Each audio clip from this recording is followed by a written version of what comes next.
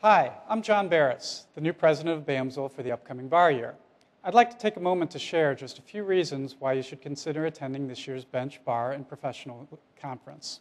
This is going to be a great conference, especially for those of you who have never attended before. The time is right. May 30th through June 1st is a great time to get out of town and head down to the Lake of the Ozarks for a few days of CLE, networking, and fun with colleagues. It's not all work, I can assure you. Bench and Bar again this year is at Camden on the Lake, a resort, marina, and spa. And once again, we'll have the entire place to ourselves. You'll find the rooms luxurious and comfortable, and the CLE program stimulating but not overtaxing.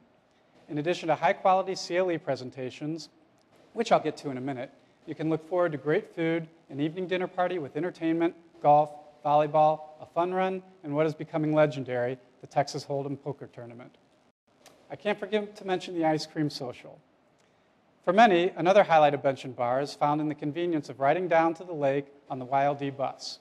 Leaving the driving to someone else while having lunch on the bus with many of the judges is not only relaxing, but also great fun.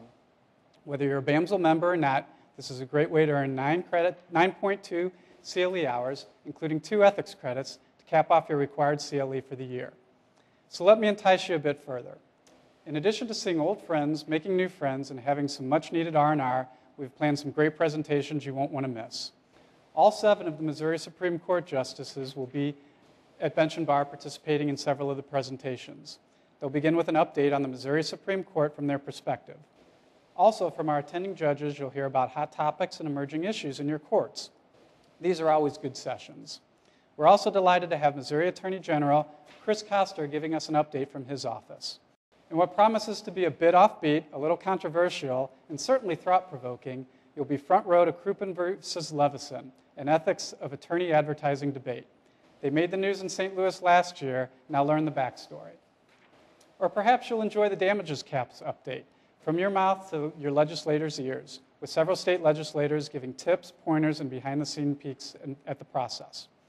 And while I haven't shared everything today, many of us will want to hear from two area law school deans about lawyers assisting with legal education, the needs, perspectives of law school deans.